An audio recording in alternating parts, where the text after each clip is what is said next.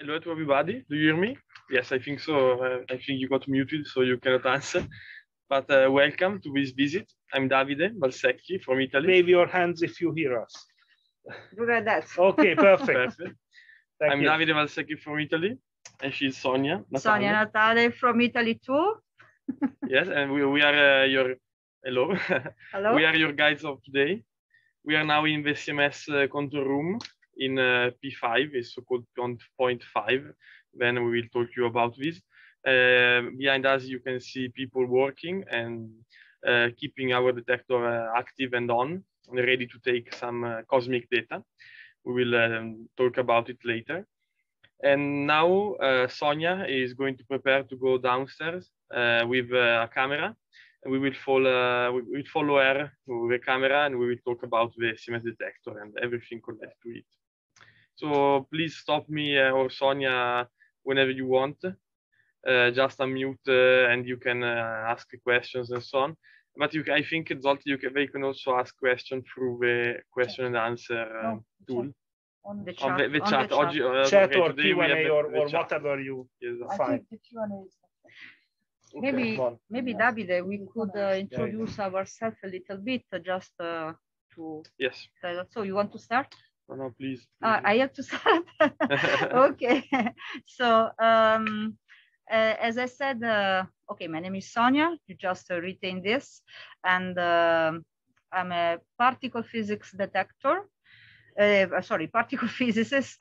Uh, sorry, detector. No, Well, indeed, now you you know have. it's the third the, the third tour I'm doing today, so I became as the detector now. Really, uh, sorry.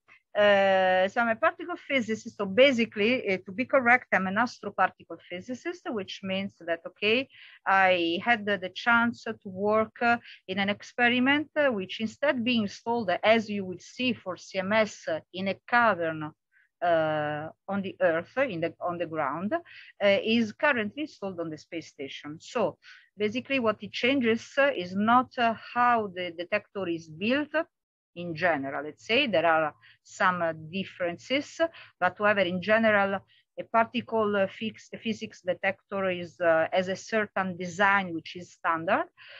Um, and uh, but uh, the source of data. So here we are producing uh, data, the signal we are uh, uh, studying, uh, collecting, using the accelerator, the LHC, and I am sure that then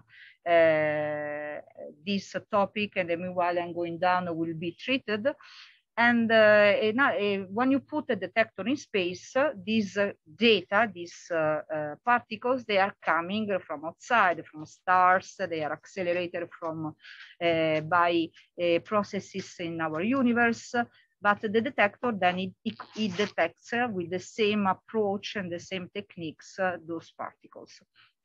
Uh, and then, okay, I just conclude that, okay, I came as a diploma student here, here for my master thesis, supposed to stay only two months and half, and then I'm still here. I'm coming from Rome, Italy, Rome. Okay, Uh, thanks, Sonia. Instead, I'm uh, Davide, a PhD student. I'm going to finish my PhD in a month, so almost a postdoc. Uh, but uh, we, mm, let's say, I started also in CMS, not as an astroparticle physics, but as a, a particle physics uh, with the detectors on the Earth. And um, my my topic of my thesis were uh, the search for a process called vector boson scattering and uh, optimization work for ECAL detector, that is one of the layers that builds uh, CMS. And uh, I'm here since my bachelor thesis, more or less. So it's also some time that I'm here. And um, enough, I think we can uh, we can start. So uh, Okay. please uh, ask us any question you want. Okay, And, maybe I um, will start to prepare myself Yes. because I need to wear, uh, okay, I already have my shoes, uh, which are very specific shoes uh, uh, to go down. They are protecting my feet. And then, uh, okay, I have to wear a, an helmet, this one. Okay, you will see me and I leave the floor to uh, Leonardo. And then uh, please, in case you are curious about something I'm showing you, uh, I will try to make it uh, as alive as I can, consider just one thing. It's a virtual visit, yes, but uh, okay.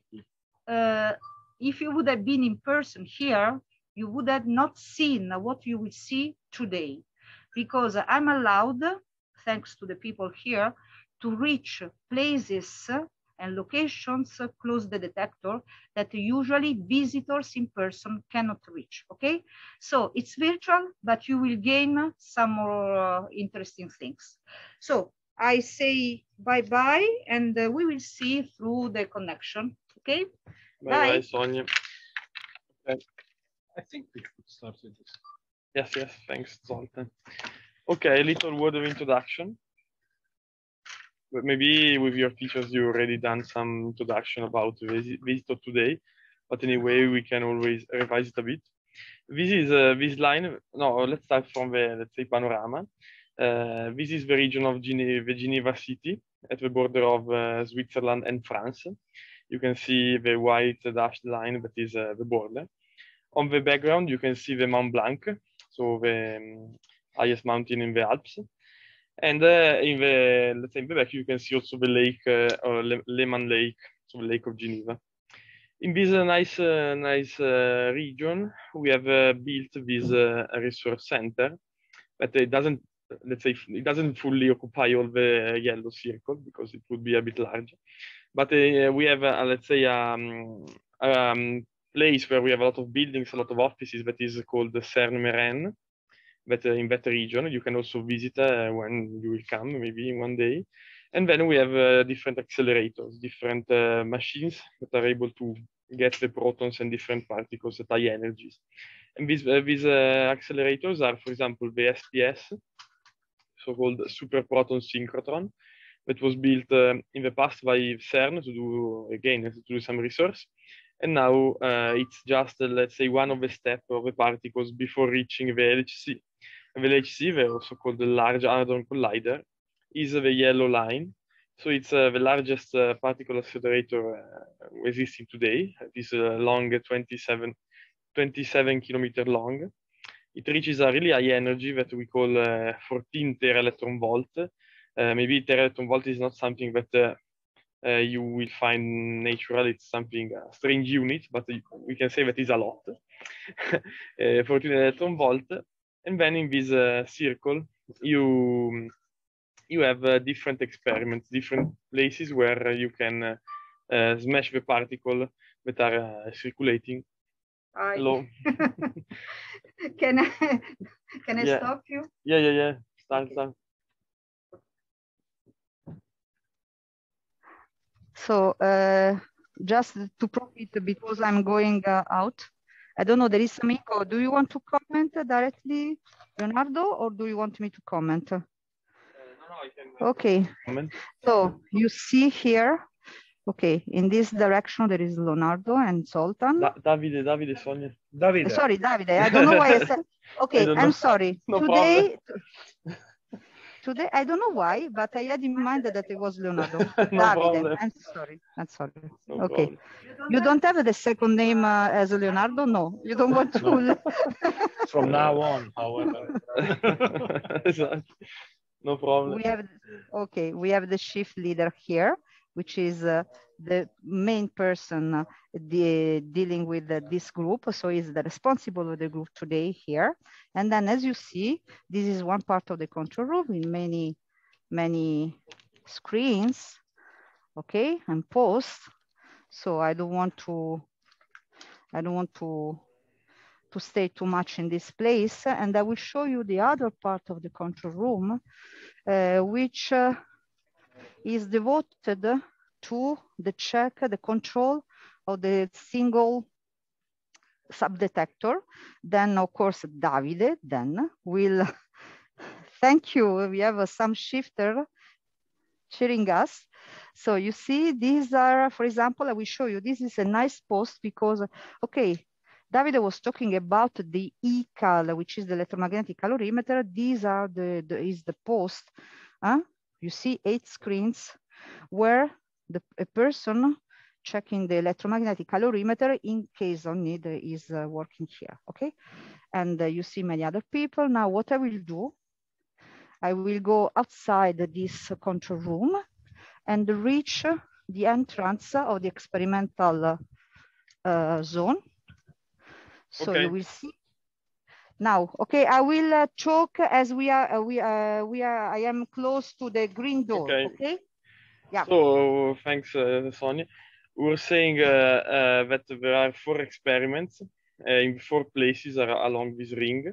We have Atlas, Alice, LHCb, and you can see the points on the map. And then we have also CMS. CMS is the farthest from uh, Meyrin, the, the the place where we have, the, let's say, all the offices. Uh, but anyway, it's quick to reach it in 20 minutes. Um, it's uh, CMS is called point five because uh, it's the fifth uh, place where we have an experiment. And uh, you can see that there are some shafts going down, down the, the earth. And we have an experimental cavern under meter under, underground. You can see also the accelerator, of course, is sitting at under meter underground. And you can see it uh, going around in the region and it is sitting on a special layer of really solid rock so that it is really stable and uh, we, we don't let's say we don't it's stable and it doesn't move. So it's it's good for our alignment to make the particle collide.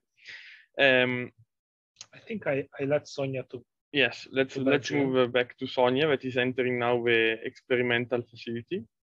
Please.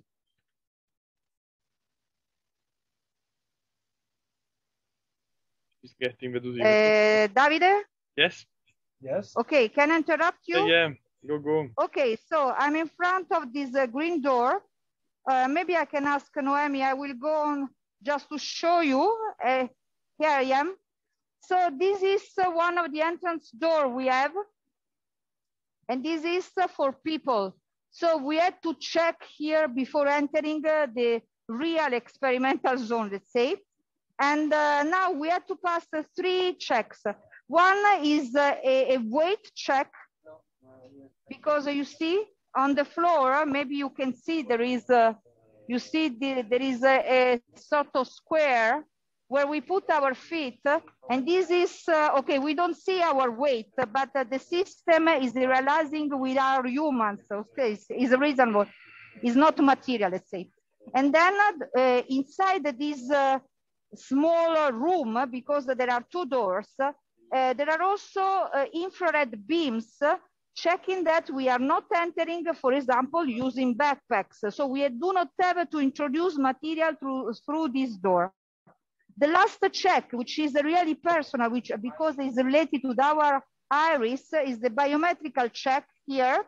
And maybe if some of you have seen, uh, you see this uh, machine, and then you will see me using, I don't know if you have seen, uh, and in case if you remember, the movie Angel and Demons, uh, because in this movie, there is at the very beginning uh, somebody who uh, wants to access this door in a very bad way, let's say.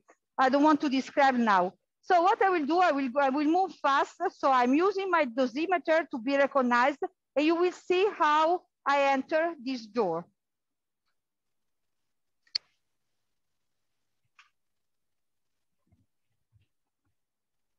Yeah it's not uh, always easy to enter sometimes the system Yes. is tricky Yes, you are right.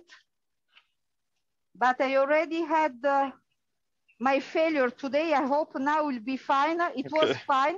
And now, now, okay, you cannot see the images because I left uh, the, the camera to Noemi, who she is helping me, but she will enter.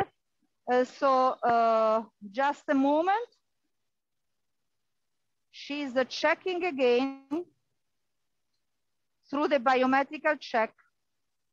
oh, wow you can see some lights uh, You can see? no from the okay. camera you can see Yeah, the some- camera is, Yeah. is sensitive a little bit in infrared as well. Ah, So we are now inside is less noisy, this zone, and we are now uh, accessing gently the, uh, the zone. Now, uh, as you see from the, on this side, you see again uh, some uh, green doors, and uh, in fact, uh, some person is entering uh, using another access, okay? We can, uh, we can show you this place, you see, is exactly the same. There are other two doors. Here are a couple of doors. And uh, there is a person now checking. I don't know if, uh... okay, we enter. Yeah, yes. I think, okay. yeah, I think we And- should and- go down. Yes. And uh, waiting for the elevator, because we are in the zone of the elevator, you see these blue doors. This is uh, if we want to bring inside the material, okay? So in case you would have been here in person, as you are not in the database of CERN, what you would have done, we would have asked you to uh, go through these uh, doors, the, the material doors. Now, uh, we have the elevator here. In uh, we are just waiting. We have three levels uh, underground. We have the minus one, minus two, and minus three. Now the minus one is more or less corresponding to minus 80 meters. And the minus uh, two, minus 90 meters, and the minus one, uh, three, about uh, minus 100 meters. This is more or less, okay? You will see, we will lose the signal inside, but however, you will see for a while at least the display showing you as we are going down. And I will uh, leave the floor to Davide and uh, I will recover the connection uh, later. We can go? Okay, so in the meanwhile, just uh, to finish the introduction, um, what we do in these uh, accelerators. Uh, so why we, we, we smash the particles. Uh, in the middle, you can see also that now we are at zero meters and it will go quickly down. It is doing something. Ah.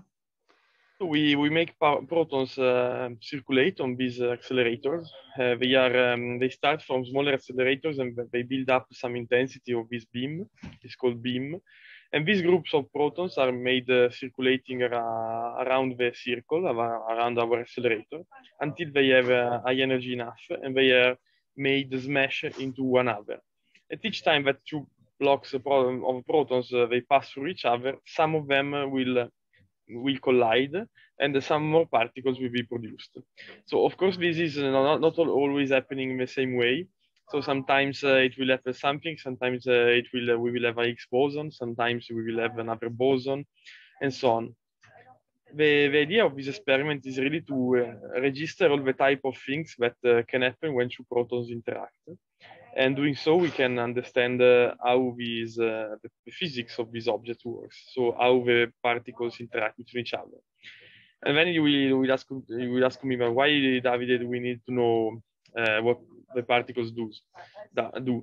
Uh, yeah, that's important because uh, everything is made of this particle. You and me and uh, all the experiment, all the matter and all the energy, everything is inside this model that is called the standard model of a, of a particle physics. And so everything at uh, one scale or out another is linked to this type of, uh, of interactions. So of course, the interaction of two single protons is not something that is relatable to directly to something that happens uh, along the street. But uh, at the microscopic level, this is really important. So it's really important to understand how it works. And we are doing that. We are registering a lot of collisions, a lot of what happens. We take a lot of pictures, then we analyze them, and we understand. We try to understand uh, what happens when we have two, two Higgs boson, one Higgs boson, zero boson, when we have uh, some other particles, and we try to uh, understand if we more particles exist that we don't, we still don't know. If you have in the meanwhile any question, we in a moment Sonia will be back and we can go on uh, with the visit. We are not yet back fully. Not not yet back. So if you, it's a good moment if you have any question about the introduction. No, make a law if you still hear us. No, okay, no problem. We can do it also later. Yes. So Think uh, think back, about uh, some question in the meanwhile. And Sonia is back underground, and Yes. we can uh, go on. Uh, we can go on with uh, with the underground. Now we are at minus Okay. 97 meter downstairs. We are at it's minus two, which is more or less, yes, and minus uh, 90 and something meters. And uh, we are just, you see, the green uh, structure here is uh, the elevator, you see. And now the elevator is going up, okay? Uh, to reaching uh, the, the, the, the, surface we, uh, we were before. And we are in what we call the safety zone because this place is safe, is safe just because it's over pressurized. This means that uh, we are pumping air outside, okay? Uh, you see, we are protected also with uh, fire doors. And uh, so fire cannot, uh, of course, enter here, but even smoke, or maybe if there is a gas leakage, nothing can enter. This is why, in case the system is uh, uh, indicating an evacuation alarm, what we have to do is uh, to gather here, to group here, and if we can use the elevator, we go up uh, using the elevator. Otherwise, we wait here for instruction from the control room and the fire brigade. Now, what we do, we do go, we do, we enter the real experimental zone. We are already in experimental zone, but this is the real one. So let's go.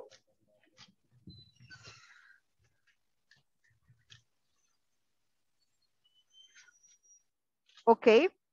So now we are, we are, the, let's say the structure, I will show you a, a, a, um, a plan because I, I, would like to proceed directly to the experimental cavern, but consider that, that now I will go through what we call the service cavern. We have basically two caverns in parallel, and uh, we will go through one of these uh, cavern and then uh, crossing uh, using uh, a corridor and reaching the other ca uh, cavern where the detector is, okay? Now, from this position, I don't know, maybe we have the chance to see already a little bit the, the, the, the, the, the experimental cavern, or you are, you are lucky because maybe you could see some people coming uh, because they are working. So in the, where you saw people coming from, uh, this is the parallel cavern we will reach in few minutes, okay? And where the detector is. So I think I will proceed directly before can, going yeah. Uh, to, yes, before going to the cavern, the, the experimental cavern, I had to go through uh, a room which contains electronics. Now, the electronics is the way we uh, detect and we uh, uh, give the interpretation of the of the signals we detect inside the inside the, the our detector. And Sonia, if you want, I can I can talk about it while while you go. Yeah, that is yes, noisy. you can talk. Yes, you can talk a little bit about this because here for for me it's noisy. Yes. So you see that if you want, I can go a little bit inside just to show you, yeah, yeah. and you can comment, okay? Just Thanks, consider Sonia. that these parts uh, where I'm going now, this is not, is uh, strictly forbidden. Okay, we, we are going to lose them. We can, it's maybe we are losing them, but uh, okay, we will be back in a second. In all these racks, in all these uh, corridors, we have a lot of uh, not only computers, but really electronics like um, um, processors. Okay, ah, okay, she's back. A lot of cables, and okay, you can think that a detector is um, a detector.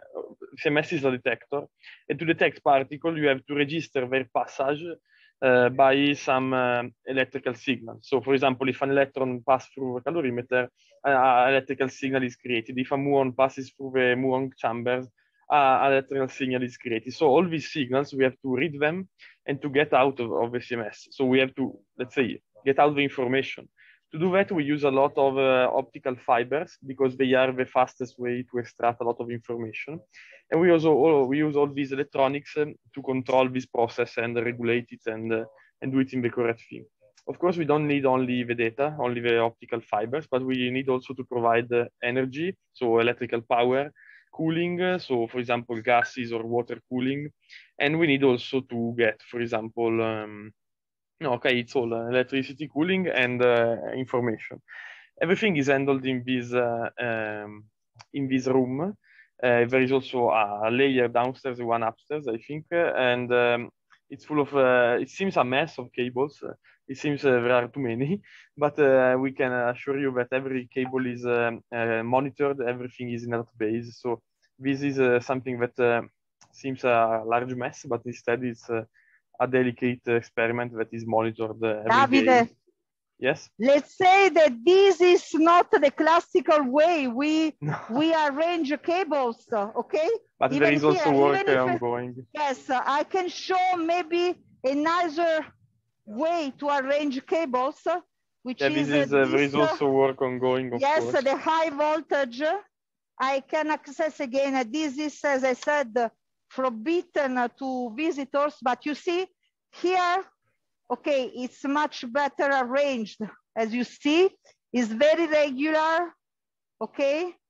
And this is not because, uh, okay, there is also a beauty, but let's say that this is because, of course, you need really to, to keep a certain uh, mapping and order among these cables. You see, they are fixed, they are arranged. Look at this wall, which continues, uh, okay?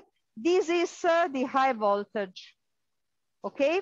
And in particular, this system was managed by the Pakistan government, okay? So it's the Pakistanis, uh, the Pakistani group who were, is in charge of this, okay? Yeah, because Now, uh, a lot of Yes, sorry, I go uh, uh, down, okay? Yes, Okay. proceed. because a lot, a lot of different universities participate in CMS uh, in the order of hundreds, and um, every university provided with a lot of researchers and technicians um, worked in a single part of the experiment. So, for example, in the electromagnetic calorimeter, there is uh, Milano, there is uh, Zurich, there is uh, um, also, I think, Lisbona.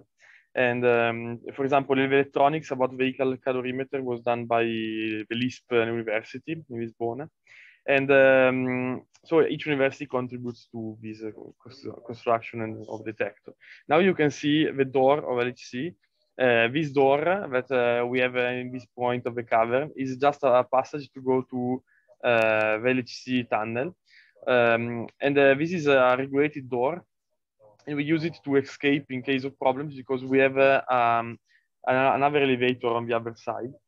of course, it is interlocked, it's called, because if you open the handle, everything will be shut down. And if there is some beam in the LHC, it will be shut uh, completely down because it's dangerous if you enter in the um, uh, accelerator area when there is the beam because it's a bit radioactive. Uh, of course, uh, uh, that's why it's, this door is closed and protected. Of course, Yes, also let me say, let me say that this is uh, really useful for us because this door uh, allows us to bring visitors uh, in this place, even when there is uh, the, the, the data taking. Just because we have this second escape uh, uh, path, as we were saying, uh, outside, which is not using uh, the experimental cavern, which is uh, more uh, radioactive. which will reach, uh, yes, uh, from this uh, corridor. In fact, uh, if I can just tell you, okay, I was coming from uh, this uh, direction, you see, the stairs, uh, the, the- I was uh, coming from the elevator there. I was moving through the electronics room and then coming down. And now this is again the experiment, uh, the, the service cavern. And then now I will proceed through this corridor to go, there is another door to check just on my right, and then I will proceed to the experimental cavern, okay? So if you follow me, I will then, okay, I will leave you the floor. In the meanwhile, I'm checking inside the door. And maybe I don't know if you or Zoltan want to talk about the colors of the doors, because this is really nice. This is the second door I have to check.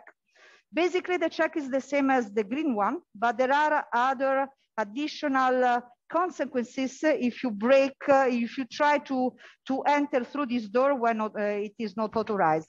I leave you the floor and I check. I think that in this case, uh, the, if you pass through this door, you will get um, you will get uh, the beam to be shut down probably.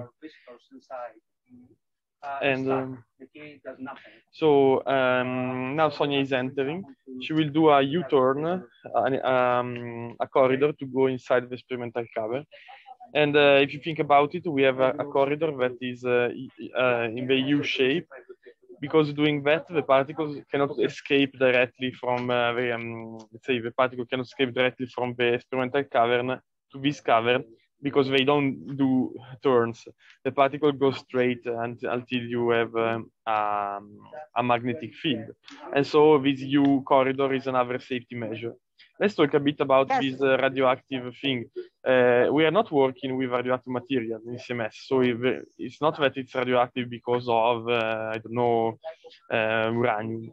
It is not like that. Uh, it can be radioactive just because when there are particle collisions, the particle produced in the collision can interact with the materials, uh, the materials around the, the detector and the material of the detector itself, and they can get uh, um, a little activated, is, it's called like that. And then later they, they decay and they, they become no more uh, radioactive, but for a short period of time, like some days, some weeks uh, after data taking, it's not completely safe to go really near to the detector. We have to wait uh, uh, let's say this radioactivity to go to go down. Now we are ready to enter the doors. Yes, exactly. So I was just uh, uh, walking uh, the corridor connecting the, the service cavern and the experimental cavern. And now again is overpressurized. So I had to force a little bit to the door and I can enter inside. Yeah. In the meantime, I would uh, encourage for questions since we are already halfway in the, the visit. Any question? Please don't be shy. Yes, you have the chance to ask question, curiosity. Remember, there are not a good question and, and bad question. There are only questions and curiosities. So you see now uh, the detector. Uh, I don't know if uh, there was a picture, uh, a slide which was uh, shown before about the detector, but uh, you can imagine a big cylinder put in horizontal way. Okay, maybe here we have a picture. Yes, you, we can see. So basically we have this uh, big cylinder here is open now, but you could imagine uh, all together. And then this cylinder is built in slices, you see? So uh, there are many slices. Uh, I like to say there is a, a sort of a salami you cut in slices. And now uh, maybe Noemi can show, this is one of the slices, okay?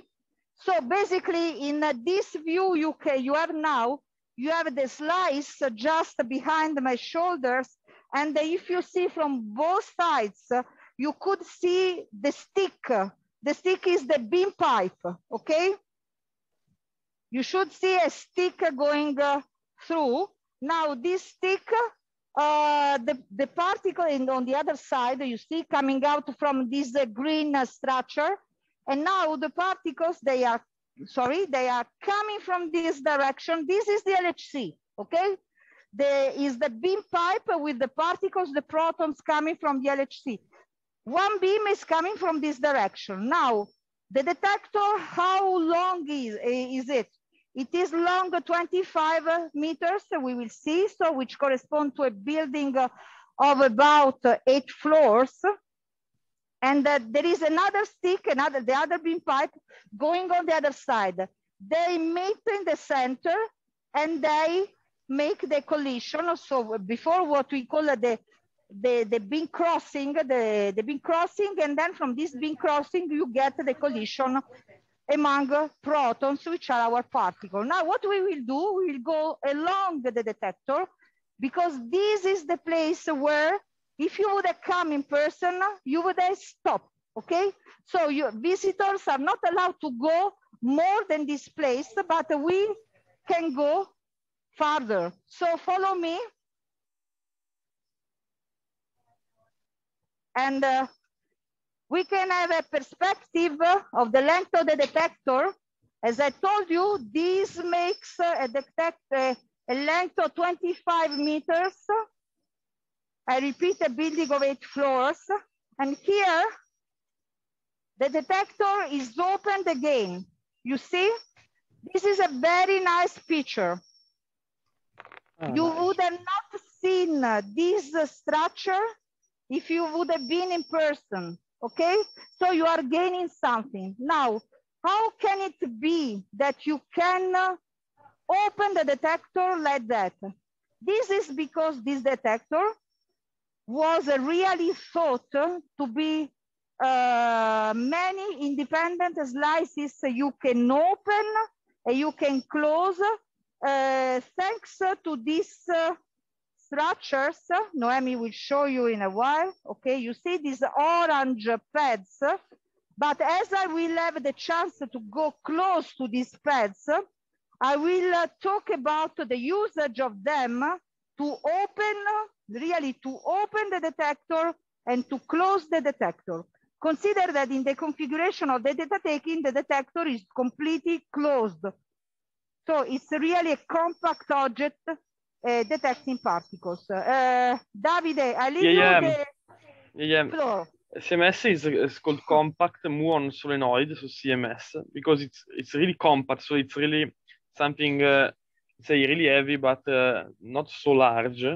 I mean, it's large, but it's, it can be larger. But it's really compact because uh, it weighs uh, like two Eiffel Towers, so around uh, uh, 14 f- 14,000 uh, um, tons. And uh, um, you can see now the other side. So we, we did, uh, I say, uh, we went along the detector and you see that it's really symmetrical and cylindrical and it closes completely the point of interaction. So the point where the two particles uh, will collide and we create the events. This way we can detect everything that comes out from this interaction and we don't miss anything because if we miss something then um, it will be difficult to understand if there is there is some particle that uh, we lost. So we need to cover it completely, the point of interaction, and uh, to register everything that comes out. All these uh, cables that you are seeing uh, are the same as the other cables in the other room. So um, they are attached to the sensor and they provide um, electric power, optical information transmission, um, cooling, and so on. And uh, you can see that it's really compact. yeah, Sonia? No, no, what I want to say, okay, you were just stressing the cable. Let's say this is the electronic, what we call the front-end electronic. This is uh, really on the detector. And then what we saw after, before, it was uh, the electronics uh, already outside the cavern, okay? So it's already another filtering of the data. So this Exactly. electronic is, has to be also very special because uh, it's inside the experimental cavern and uh, should be radiation hard. Radiation hard. Yes. Now, Now, as you see, sorry, I'm just going up. I would like to profit uh, to show you because this is again something special. Look, I'm going up and I will reach the top of the detector. Okay? I think, uh, I don't know if I can, uh, here, I cannot proceed. Sometimes we could go even farther here, but today I cannot because, you know, we have to respect uh, the working uh, schedule. And so I can only show how a wheel, uh, you see, this is uh, the wheel we saw before. I show you, you see? I was just at the level of the, of the stick of the beam pipe. And on the top of the wheel, uh, you can see there are, I don't know if it's visible. Yes, okay. There are stairs. So sometimes uh, we are allowed to go on the top of the detector, okay? Now I have to stay in this balcony here, but I can show you still uh, the beam pipe. And what I can show already from this position, but maybe even much better, is uh, what we call the shaft, which is basically, I told you that the, the detector was built in slices, but uh, it was assembled on surface. And then it was lowered in this cavern, slice by slice, uh, using a huge crane, the typical crane used in uh, harbors. In fact, this was coming from Italy, from uh, the harbor of Genoa. And you see, this is, uh, this is the hole, let's say, the big hole from where we lowered the, slices, okay?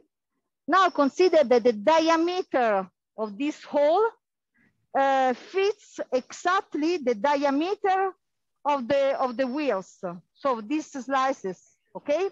So this one, you see, from here, from this point, uh, where is my finger, to this point, which is 15 meters more or less. So it means as it's uh, it's uh, circular, okay, is uh, the cross section is circular. You have a building of five floors here, okay.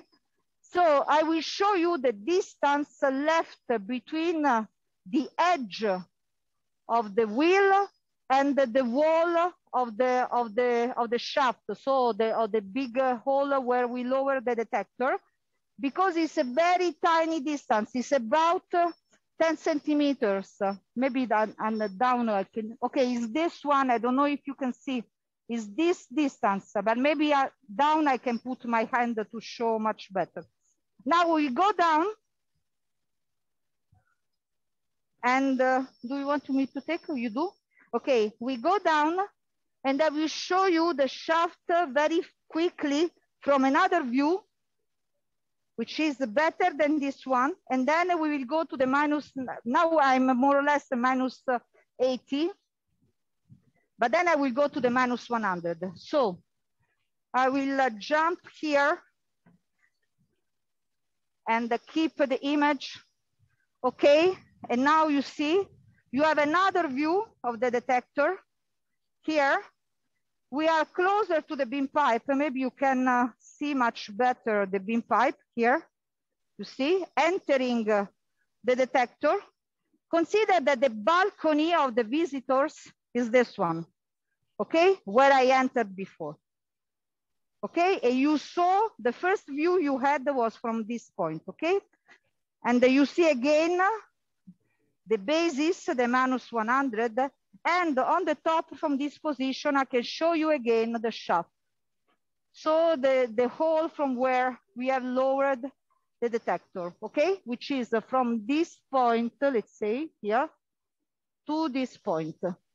Now it's currently, I don't know if this is visible, but this uh, light gray you see on the, on the top is the ceiling of the building which is outside on surface, which means that now the hole is opened, but usually we close it uh, when there is the data taking. So there is a movable floor which is completely closing this hole. Now it's open, why?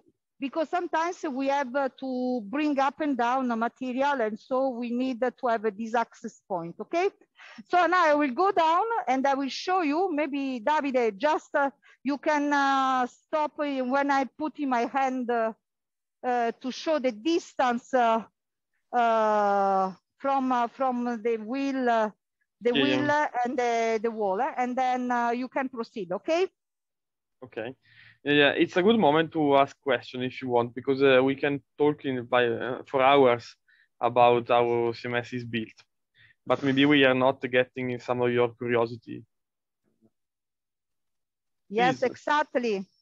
Are there? There is one. There is one. Yes, there, there is, is one, one question. Yeah. Yes. Hi. I just wanted to know why is it so big? Ah, yes, that's a good question. Yeah, because um, okay, I can answer, uh, Sonia. Um, that's so big. Uh, you're right because at the end we are looking for particles that are really, really, really small but uh, it's so big because uh, first of all when you we create uh, particles and they are high energetic we need to detect them and uh, we need to do different things we need to first of all to track their position their, their curvature oh. so there is a magnetic field that makes the particle go around and makes the particle uh, turn and turning them uh, we can get their, their momentum so we need okay a layer that is the tracker so uh, first layer of the tracker is uh, less than uh, one meter. It's so we are talking meter. about this. Exactly. We are slice so it. we need a lot of different exactly we have each slice is done like that we need a lot of different structures that's why it becomes so large first of all we need a tracker that gets the position the not the position sorry but the direction of the particle gets how much does it does it curve so we can extract the momentum of a particle. Then uh, we need uh, electromagnetic calorimeter, so something to measure the energy of electron and photons. And then we have a magnet, and the magnet is a really large structure by itself, and uh, it's uh, one of the largest magnet uh, with highest energy, magnetic energy in the world. Then we need um, no, sorry, before the magnet, I was confusing myself. There is the hadronic calorimeter. That is another structure that is needs to be really large. That's why um, to stop the heavy particles like protons, hadrons, pions, it needs to be uh, many layers of lead. And so you need to have some some length because if not, you are not stopping the particles. So you need something to stop them. They are really small, but really energetic, and they pass through the matter really easily. So sometimes we don't think about it, but for particles, uh, the matter is really like a Gruyere cheese with a lot of holes between the atoms, so they pass through really easily. We need a lot of material to stop them. And after the hadron calorimeter, we have the, the, the magnet. At this point, uh, the only particles that are able to pass through all these layers are the muons. The muons are uh, the causes of Okay, electrons. they are not magnetized. And uh, one, one second, Sonia, I finish this. Muons are uh, causes of electrons, and uh, they are able to pass through a lot uh, of material, but really for a hundred of meters. And uh, that's why we don't stop the muons, but we just uh, mm, measure their passage in the, um, let's say, in the muon chambers. And so we have uh, around these red layers that are made of iron, we have these gas detectors that are um, registering the, the, um, the passage of muons. So you, you see that we need something like uh, 10 meters or a bit less of material in order to detect all the type of particles. That's why it's so big. For example, uh, this is also a little smaller with respect of Atlas, for example, but it's more compact. So Atlas, it's the other detector, it's like uh, uh, 30 meter high instead of 20, 25 Mhm. and um, but it's really it has less material inside. It is it is done in another way. It is done with, with different technology. Uh, okay, it is doing the same thing, registering the different type of particles, but with different technology. So we need a larger detector, but a less dense one. Instead, since we want to measure really mm, well the muons, we have a lot of uh, muon chambers. So it's we are a compact detector, but it's compact, but it, it is still anyway 20 meters high. So not so compact. um, we can go back to Sonia if uh, I satisfied your question. Oh, there is another one, or said okay. Um, what kind of limitations does the, does the accelerator have? Okay, the, yeah, we have some type of limitation. Let me let me before uh, show you what uh, Sonia is showing, then I can answer. Sonia is showing that there is some Yeah. residual. I, I can I can. Can you hear if me? Yeah, yeah. Ah, okay, yes, because I didn't, I didn't want to interrupt you. Okay, No, no. yes, in fact, I was preparing uh, some, uh, how to say, what I call an experiment, because uh, really we I are think we can do uh, the two at the same time. So while Sonia is showing something, you can answer the question. Yeah, yeah. Sonia, can you do it? I don't know. exactly. Okay, just to, to is some, explain that this is actually, residual Davide could answer magnetization. the- Okay. Yeah, yeah. You see? So Davide could answer the question why you can you can show these things. Yeah. Yep. Okay. The limitation of accelerator are many. Uh, of course, the, the most important for us is the energy. So you would say why the energy is important? search button. Uh, it's important because uh, the more energy we put inside the particles, the more energy we can use to produce new par- new particles. So uh, imagine that the two balls, uh, little balls that are uh, going one on the other, can produce other particles. If they don't have enough energy, they don't they don't create uh, massive uh, massive particles, but just small energy particles. So, for example, if there is some particle that is waiting for us at really high energy, we cannot see it until we we use enough energy in the accelerator. So that is uh, one of the limitation factors. So in the history of CERN, many accelerators Mhm. have been built uh, with higher and higher energy, and every time a new particle or new process that was expected was uh, discovered. Now, at the moment, we discovered the boson, uh, the Higgs boson, that is uh, uh, one of the most important particles, but um, and uh, now we are looking for new particles and new processes at even high energy. But um, for the moment, uh, our accelerator is limited by the energy, so it cannot go over 14 tera electron volt. A second This is limita- why, uh, sorry, have you ended your uh, Yeah, yeah, answer or not? yeah, yeah, okay. Not yet, not yet. No, Ah, another, finish, another limitation is, uh, for example, the intensity. So how many collisions uh, they are done uh, by second. And if you think about this limitation as the amount of uh, time that you need uh, to reach some number of events. So if you have a really, really, really rare process that happens just one time every billion events, and you are able to make more protons mesh between each other at each second, you have to wait less time to get enough uh, events to, to have your discovery. So you can imagine that we can make uh, protons, uh, let's say, collide really slowly, but we will take ages to, to detect enough uh, events. Instead, if we uh, get a higher intensity, we can get more, uh, more events more quickly. And this is another, let's say, factor of the accelerator. The other, it's, um, okay, these are the two main factors, let's say. Then if we build a larger accelerator, we can build, let's say, two higher energy. So it's not, the, the energy factor is not just a limitation of the accelerator, but it is a, a limitation of the magnets that build the accelerator. So the magnets are needed to make the protons bend in a circular shape but we cannot go over this type of, uh, mm, let's say, energy because if not, uh, we are not able to bend the particles. The, our magnets are not so, so strong. We need even more stronger mag uh, magnets or to build a larger circle so that the particle has to, let's say, curve less because if it is larger circle, you can imagine that they have to make turns that are more slow. So we need uh, not so um, power, powerful magnets. Mm -hmm. I think before they would come up, I would allow uh, Sonia to show the so, Sonia, go go on now, please. Yes, I don't know if I'm unmuted. Yes, yeah, okay, yeah. I'm unmuted. I wanted just to show, I was waiting, uh, yes, uh, to finish this description, to show two important things. Okay, I was playing uh, uh, with the magnetization here because now there is no magnetic field, but I wanted to describe a little bit uh, the usage of this uh, orange thread because these uh, are how this is the system uh, together with uh, these cables we use to open, as I said, and close the detector. Now you see that this part, they are connected to uh, a system, you see, there is some oil, a system which is pumping inside the compressed air. And this helps to lift a little bit the slice and then uh, you see these cables. These cables, uh, you, if you see, follow me, they are connected to one of the small machines. There are many machines like that.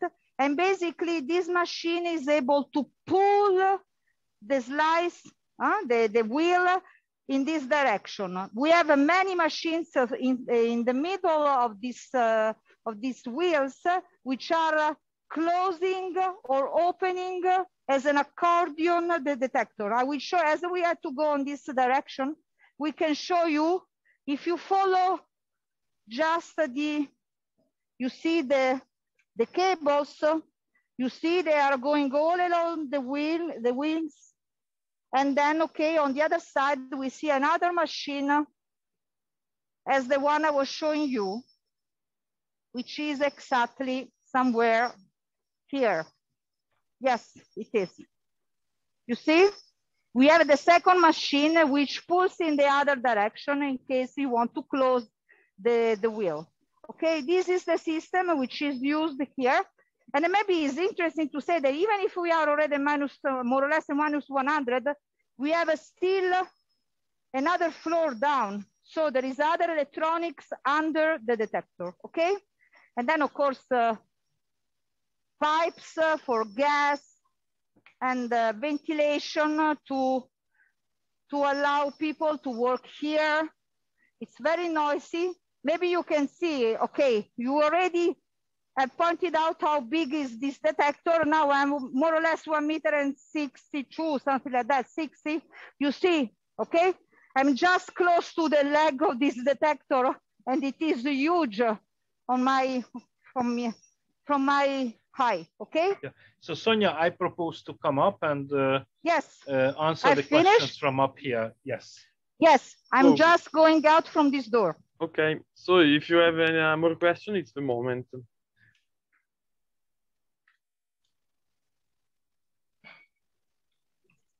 Um, how often do you have to fix the the accelerator, and what kind of risks does it uh, have to organic uh, subjects. Have, what uh, we have to fix the accelerator or the detector? The accelerator. Okay. Accelerator. Well, the accelerator, we hope we don't have to fix it too many times.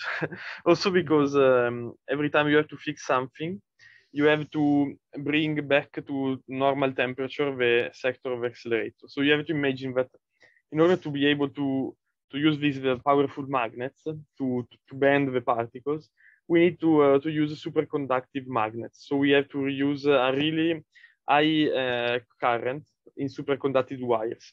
And to do to use this superconductivity, we need to stay practically really near the zero Kelvin scale. So it's like around uh, minus uh, uh, 200 degrees Celsius, uh, 257, I think, something like that. And so it's really, really cold. And every time that you do have to touch something, you have to bring it back to normal temperature. And this can take like two weeks. So we hopefully the accelerator is really a stable system and usually doesn't uh, need once it is cooled down to start, uh, let's say, the period of the taking, you shouldn't touch it too much. Uh, for example, what we do usually is to bring the, the accelerator to be ready for the detect, for the collisions around the beginning of the year. Then we take uh, data for one year non-stop, and then at the end of the year, um, we let's say we switch it off for the Christmas uh, pause, but not because we go everyone uh, on holiday, but just because uh, using all this current, all this energy for the, the for the let's say the accelerator would be a problem because in the region a lot of the heating uh, services are done with ele electricity in this region, not with uh, gas. Uh, or so let's say there is too too we, we would use too many too much energy in the region with respect of the need of the population. So in, and, and, then it would be really costly to use it too too much in the winter. So in practice we stop from December to March. Um, and in that period, it's good because it's not that we don't work. In that period, we can go down and touch things, uh, do upgrades, uh, fix the, the, the, parts of accelerator, and not only of accelerator, uh, also of the detector, because uh, when the detector is off, we can uh, open it, slice it, and change pieces, change detectors. We cannot do it when uh, there is data, data collision, collision of portals and uh, now you see everything open and everything uh, people that works but this is because uh, we are in a in upgrade period. We are in a moment where we can really um, it, it is it has been three years but it, everything is stopped and we can upgrade and change things uh, for a long period. Then uh, now it will start a new run. Uh, a run is just a period of years where you take data non-stop. So in, in next year it will start the run three of LHC. So we will have more data and to do more discoveries, hopefully. And uh, uh, we we won't touch anymore. We open the detector and uh, the accelerator. So you see you see that Sonia is coming out now, and it is reading the dosimeter just uh, to show you, and it's really low. The, the dose uh, that you get uh, from radiation going around your city is around one millisievert. That is a unit 1 millisievert a year. Uh, we monitor our um, our dose that we received with dosimeters, and usually we get less than uh, the standard dose. So it is just a way of uh, CERN to keep uh, the employers, uh, the employees safe, but we we are not subjected to the to radiation. Any other question?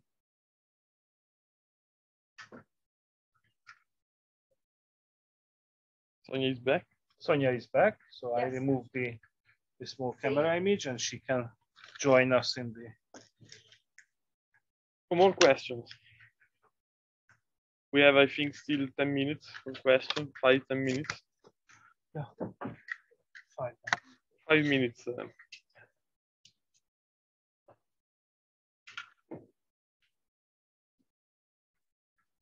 Sonia, your third, uh, third um, tour of today. Pardon? It was your third turn of today around the cavern. Uh, yes, but not for virtual visits. Uh, For there real were other visits. Uh, uh, no, no, but it was. Uh, we had to change our planning in the last visits. This Yeah. was why. Okay, certain point I was a little bit confused. No, no, I it was apologize. perfect.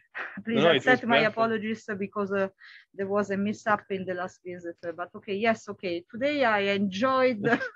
Many outreach activities today. Uh, yes, but okay, I think it's No, no, it worthwhile was, to uh, show this detector. Uh, to the students, uh, no questions, curiosity, mm, not only in physics, maybe just uh, how if, is the life of a Yeah, physicist? there is one. No? There is one. Yes, think. uh, I saw somebody. Please yes. don't forget to unmute. Hi. Um, I understand that it's very interesting, but why do you want to find new particles? Ah. Can I answer? Can I answer? And then, Please, okay, you can. Okay. so, uh, of course, uh, it's uh, it's normal that not everybody is uh, is interested in finding new particles. Okay. If I like you, why you like? I don't know. Maybe chocolate ice cream. You say because I like it. I would say because uh, people who are interested in this uh, field, they are curious to understand the mechanism of the nature around us, which can be uh, to study the universe, to study the particles, or to study any physical process, as for example, a biologist or a doctor is interested in studying how the human body works, okay? Uh, but uh, I understand that, okay, it could seem very far from the daily life, this work, which is not. And uh, to tell you this, uh, to prove this, I would like to list uh, some uh, technology transfer and impacts uh, you can have in the daily life. Um, I start saying that you can use radiation and particles. We are measuring here producing collision, but you can use a source of radiation or source of particles, for example, to analyze paintings, okay?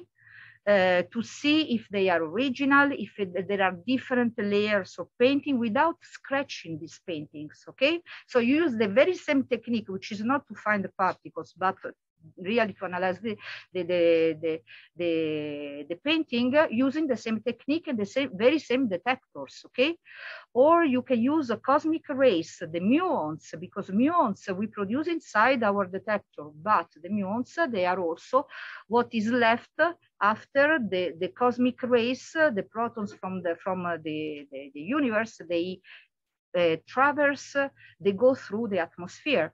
And you can use these muons to let them going through, for example, pyramids, and you put detectors on the other side, you can have a sort of uh, muography, which is a sort of radiography with muons of the pyramids. And you can that. discover, you can discover, this has been done, you can discover, for example, empty places which can uh, contain information from archaeology. But in the medical domain, you use radiation and particles to uh, to do in medical investigation. I remind you the magnetic resonance or the PET scan, the positron tomography, which is using antimatter to uh, investigate it and give you picture of the body or the hadron therapy, which is a therapy used to treat cancers. So you cannot do anything of this, okay? If you do not know particles first, if you don't have detectors we use here, you just transfer this technology and this knowledge to another field. So maybe somebody is not passionate in the pure fundamental science, but there is always uh, some technology transfer as an, imp- I would say, uh, knowledge transfer in the daily life. We are having much fun, but uh, then all the society will uh, will get also the Yes. results. personally, I think also for you, we are curious to understand the mechanism of nature, okay, how it works and to discover. We are curious of this. I can tell you it's really funny also to work in this sense because at, at the very end is a sort of uh, hunting uh, particles and uh, try to give answers okay? It's as if you are in a game and you want to give answer you have to invent. There is a lot of creativity also in this in this uh, in this kind of work because you have to invent techniques you have to invent detectors you have to invent uh, theories to explain or to predict so there is a lot of course uh, of course there is also some uh, technical background which basically is mathematics but and this uh, can informatics. we can we can do if we like I don't know if you want to add something No, or no, to I think, think, differently uh, from, think from me, Davide. No, no, I think it's complete. So Zoltan saying saying that uh, our time our time is gone. Uh, well, actually, More or if less, there, there are more questions. But if you can have more questions, we can. Uh, We can We maybe can answer. just say that they could participate to s- these uh, high school programs. Yes, of course. Yes, of course. Yes. there Yeah, are high yeah, school yeah. programs, so that. definitely. Uh, Yes, uh, so there are many programs for high school students uh, and not only even for university. For example, for high school as you are, um, there are programs uh, related to the, the country and uh, you can spend two weeks uh, at CERN uh, working uh, in groups of two with a, a researcher. And after these two weeks, you visit, of course, all the places of CERN you study, you you can really be uh, involved in, in person uh, as first uh, to this. Can be hardware or can be software. It depends. Uh, it's up to you to choose the project, and then you have a presentation, a final presentation. Uh, I, I was uh, attending the last meeting last Friday, and uh, I was really surprised. That there was a student saying, uh, "These two weeks uh, have changed me and have changed us talking about the group of 14 uh, 24 people. So it's really good experience for you. There is another project which is called the Beamline for schools. Basically you uh, you um, submit your project to this uh, sort of competition and two projects they are selected and then they are invited to spend two weeks at CERN and to use the beam to uh, to do their own experiment with their teacher. This is something you can do with your class, uh, uh, class in your school. And then, okay, these basically there are close. Okay, the shortest, the shortest project I was not talking about because if you don't live here, they are not worthwhile to be treated. And then, okay, when you will go to university, there are the summer students. Uh, but this is more or less the third year of the university. You can uh, join this kind of project. Uh, they go usually along all the summer. so just a check on the on the website, or maybe you can you can send emails around to get more information. Mm-hmm. Okay. One is called the maybe we can write in the in the in the chat. One is called the HSSIP, the first one. And the second one is BL4, the number four, S. Beamline for schools. Yes. The other one is H- HSSIP. These are the two projects I, I was talking uh, about. Yeah. Yeah. Okay. Good. What is this? Uh, we don't see. We don't Ah, see. we don't see. We don't see. what is this? It's Eh, but we. they- No, no. Please explain to us. Ah, okay. Yes. Yeah, Yes. yeah, yeah, probably. Yeah, yeah, yes, yeah, yeah, yeah. exactly. Yes, exactly. Ah, yes, in fact. Yeah. Okay, so you see, Yeah. perfectly on time, Okay. perfectly synchronized. Any questions more? Last questions. last million dollar question. Nobody is curious If there about is no more physicist life. yeah, if no more No, questions, we okay. might wrap up. I So guess. yeah. can I just close saying that uh, today is the 24th of November. Uh, okay, we can, uh, uh, our 30 years, uh, Freddie Mercury was, uh, Yeah, exactly. died. Exactly. I, uh, yes, well, Freddie and, uh, was not not very much for physics. I no, guess, but, but, uh, but Brian May, Brian, Brian yes. May, the guitarist, is an astrophysicist. So this is why I wanted to say this. Yeah, exactly. He beats a he his, has a his PhD. took Yeah. longer than mine. Yes. Yeah, No, but he stopped. Come on, he did something else. that's true. That's true. I have a fun trivia question. It's just to know how many Portuguese people are working uh, at CERN right now. Around six thousand at CERN no, no, no, general. not not Portuguese. Ah, Portuguese, Ah, not Portuguese, uh, I 600 don't people know. in That, total. that I cannot tell at this Uh. At least I know one uh, in CMS. No, Which many, is there, are Andre many, David. Portuguese guy didn't come. Yeah, there are many in, also uh, in Yeah. Well, CMS. there are many. I don't know how many, but there are. For example, all the electronics of ECAL is done by Lisbon. Uh, exactly. The, the LIP is very very LIP, heavily in, included in the Yeah. uh, at least at, in CMS. But I think they they look uh, on the web, they can find Yeah. the Portugal in CMS uh, collaboration, Yeah. and you can find how many and uh, also the groups they are contributing. exactly. Yes, you can Okay. get more information. CMS, uh, Portugal in CMS uh, experiment, and uh, you will find uh, this uh, information. Mhm. Yeah. Everything is free, Okay. more or less. Okay. So Yeah. thanks a lot. And we hope to see you also in person soon.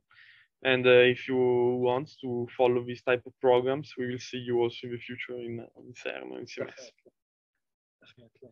Thanks a lot. Thanks and very bye bye for, from for the joining control room today. of And see you soon. Bye. Ciao, ciao. Bye bye. Bye. Maybe.